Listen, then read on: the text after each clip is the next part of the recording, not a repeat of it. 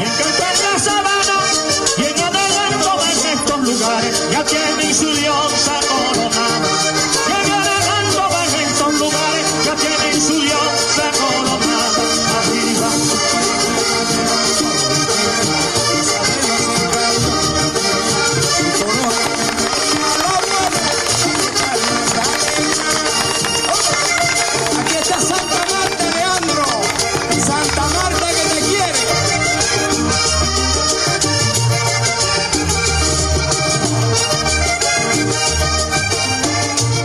Un emotivo homenaje le rindió hoy Valledupar al maestro Leandro Díaz. Miles de personas se reunieron en la mítica Plaza Alfonso López para despedir y acompañar también a ritmo de vallenato al juglar hasta su última morada, que es en el cementerio central de la capital del César. Vamos en vivo con Martín Mendoza y Carlos Cataño, quienes han seguido muy de cerca toda esta jornada, compañeros. Los escuchamos. Adelante. Muy buenas noches, efectivamente, entre aplausos, entre manifestaciones emotivas y pañuelos blancos, fue sepultado esta tarde el maestro Leandro Díaz aquí en el cementerio mm, central de la ciudad de Valledupar. Por las céntricas calles del histórico Valledupar fue traído hasta este lugar que será su última morada. Una gran despedida se vivió en la Plaza Alfonso López. Allí eh, Carlos Vives interpretó los clásicos del maestro Leandro Díaz, familiares y otros artistas también participaron de esta emotiva despedida, el último dios al maestro Leandro Díaz.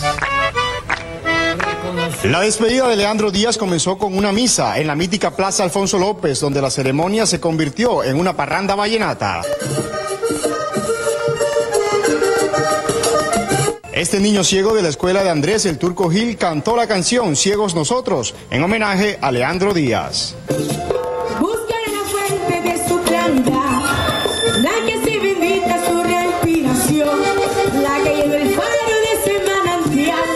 Carlos Vives llegó a la capital mundial del vallenato a despedir al juglar. Nos da esa tristeza de alguien que nos deja, alguien que se va, alguien que nos dio, nos dio tanto, pero al mismo tiempo queda un legado y yo creo que lo importante en este momento es tener cuenta que no nos podemos olvidar. Uno de los momentos más emotivos de la ceremonia fue cuando esta mujer, Matilde Lina, musa de inspiración de Leandro, subió al escenario. Con pañuelos blancos, el pueblo vallenato dio el último adiós al hombre que veía con los ojos del alma.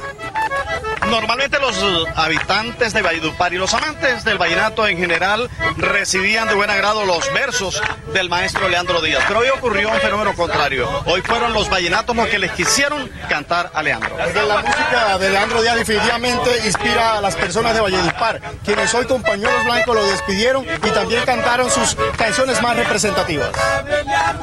Cantó con melancolía, tristes están los corazones. Adiós, maestro Leandro Díaz, gracias por tantas canciones. Amenaza del alma mía, lo dice Miguel Morales, se ha marchado Leandro Díaz y la poesía queda en el arte. Tengo ganas de cantar. Antes que amanezca el día, Dios bendiga ese juglar al maestro Leandro Díaz. Él nos dejó su legado, se alegran los corazones, se nos fue el maestro Leandro no has dejado sus canciones. Ese fue un ciego inmortal, lo recuerdo a cada rato. Ese fue un ciego inmortal, lo recuerdo a cada rato. Un orgullo nacional y de nuestro vallenato. Un orgullo nacional y de nuestro vallenato.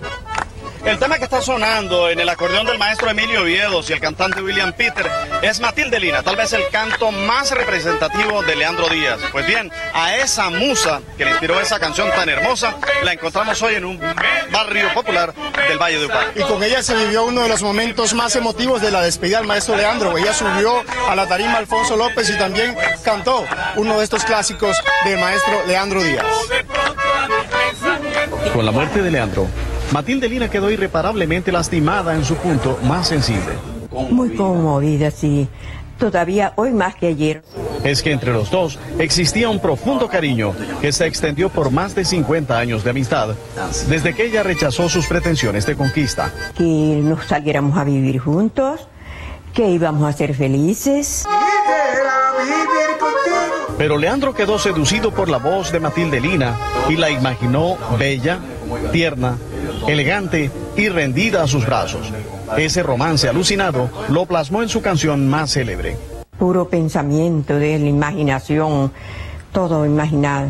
Está dolida, pero orgullosa de haber inspirado con su gracia un canto que la convirtió en una celebridad folclórica. Me dicen, ¿usted es Matilde Lina? La de Leandro Díaz. Y yo les digo, sí, la de Leandro Díaz.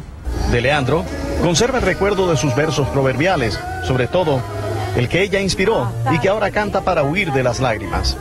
Cuando Matilde camina, hasta sonríe en la sabana. Y él decía, hasta sonríe en la sabana cuando mi Matilde camina.